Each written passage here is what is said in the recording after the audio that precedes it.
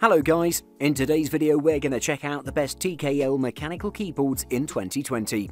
I made this list based on my personal opinion and I tried to list them based on their price, quality, durability and more. If you want to see their price and find out more information about them, you can check out the links in the description below. If you'd like to win one of these products, make sure you watch the whole video, click the like button and comment the hidden word found in this video. Number 5. Tecware Phantom 87 key. The brand might not be a household name, but for the money, it delivers more than you would expect. It's a tenkeyless keyboard with a small and compact body, pretty light, beautiful design, not so many features, but for the price, just perfect. This amazing keyboard measures just 15.8 by 7.4 by 2 inches, which is pretty small and great for portability and utilizing it in small spaces. On the bottom of the keyboard, you'll spot four rubber feet for stabilizing the device and the keycap puller. The Tecware Phantom 87 is built out of plastic throughout, but it has utilised a pretty high quality plastic as it feels pretty substantial and sturdy. You can choose one of the 18 LED lighting modes that can be activated or swapped by pressing the function button and one of the F keys up top. On the company's website you'll find software for the keyboard, however it's not a refined software as it is a little buggy and not as responsive. This keyboard utilises Outemu mechanical switches that are custom made for this one, and you can select one of the variations blue, red and brown, which deliver a great experience. Each one is perfect for a purpose, but for gaming I would choose the red ones, as they deliver a great fast-paced gaming experience for FPS and MMORPGs. While it's not the most feature-rich keyboard in the market, the Tecware Phantom 87 delivers plenty of performance for its extremely affordable price. Number 4. Glorious GMMK TKL the GMMK is a very clean product. The only thing that gives away that it's a gaming keyboard is the fact that the standard escape key is replaced with a launch the nuke style key which says Ascend. But aside from that, it's a very sleek and professional looking keyboard with absolutely no branding anywhere. The GMMK comes pre-built with Gateron Browns, but you can also order a completely empty board and choose your own switches and keycaps. The glorious modular mechanical keyboard, better known as the GMMK, is an overall great keyboard the switches themselves are a little loud, but that's just the nature of the switches. The keyboard had a lot of less volume when I tried some more discreet ones. The people over at Glorious have set out on a difficult mission.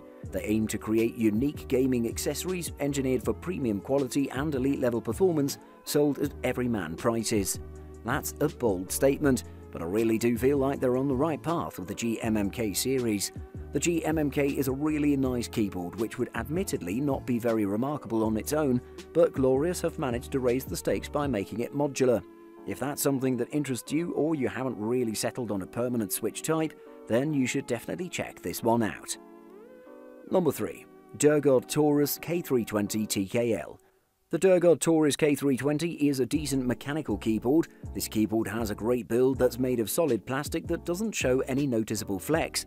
Typing feels great, and there are two incline settings that should help reduce fatigue or pain. Also, the keycaps are made of PBT plastic and feel nice to touch. There are macro programmable keys, and you can reprogram every button in the companion software. Our unit has Cherry MX Brown switches, but it's available in a wide variety of switches and colours. Our unit doesn't have any backlighting, but it's an option that's available depending on the variant you choose. The Taurus K320 TKL continues to deliver when it comes to physical features and accessories. I did tell you this keyboard is the real deal.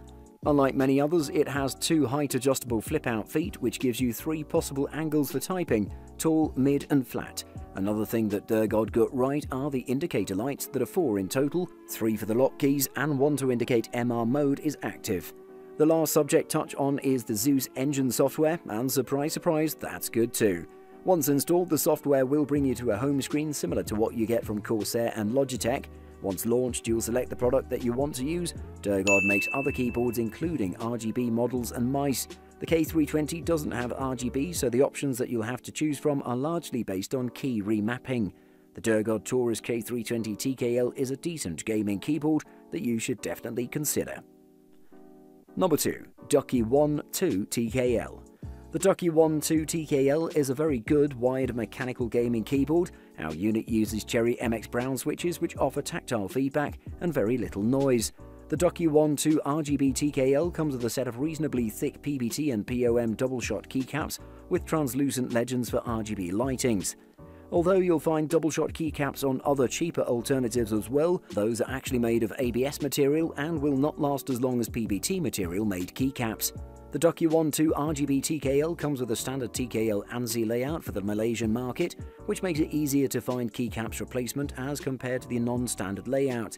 Unlike some of the previous Ducky keyboards, the One 2 RGB now has its logo printed at the back of the case, not on the spacebar keycap. The One 2 TKL is an excellent keyboard for gaming. The Cherry MX Brown switches are now unit of low pre-travel and don't require a lot of force to actuate. That said, it's available in a wide variety of switches. It has full RGB backlighting which can be customized with the Ducky RGB Companion software. Also, every key is macro programmable and recording is done on the keyboard.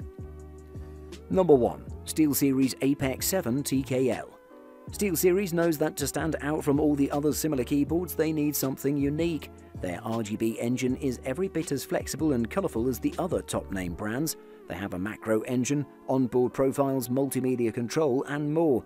So in that respect, they're very competitive. The aluminium construction is sublime, and the USB pass-through is a welcome addition too. I guess the real unique features are the magnetic wrist rest and the stunning OLED display. Overall though, it's a pretty complete package that any PC user and gamer can appreciate. The Apex 7 TKL can be viewed as an unofficial successor to SteelSeries Apex M750 TKL keyboard, and both products share many design features, including a classy rigid aluminium frame. Both keyboards are available with SteelSeries custom red switches, and the Apex 7 TKL offers the option for brown or blue switches as well. All three key types fall under the umbrella of SteelSeries' own QX2 mechanisms. The Apex 7 TKL is an outstanding gaming keyboard. The tactile switches react quickly to every keystroke without much force, and they provide a tactile feedback so that you know that the keystroke was registered. The double shot keycaps ensure the longevity of the key legends, and the full RGB backlighting is great for darkroom gaming, as well as to highlight important keys. Buying Guide Firstly, feels. This typically describes the physical switches used by the keyboard.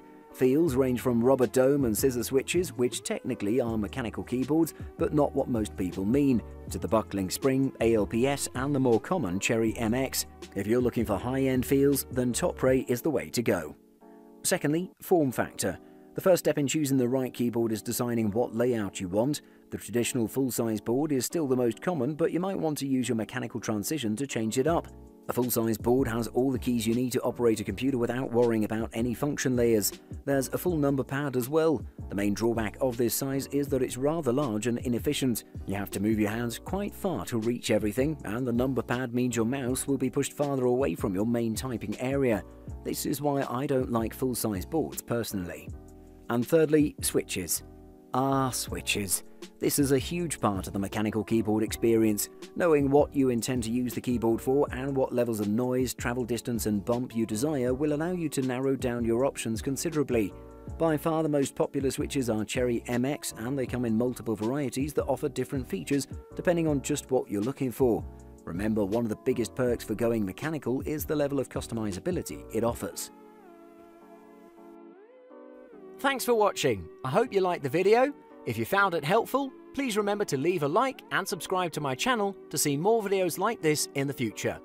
If you have any questions related to these products, you can leave a comment below and I'll get back to you as soon as I can.